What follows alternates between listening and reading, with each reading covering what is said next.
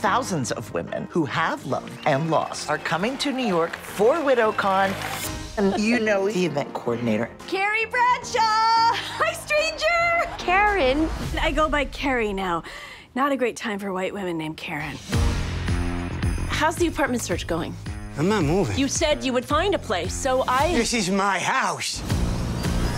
Have you looked outside? We're not gonna let a little snow stop us, are we? Where's she going? She's going to do the thing that you said that you didn't want to hear about. Right, Dad?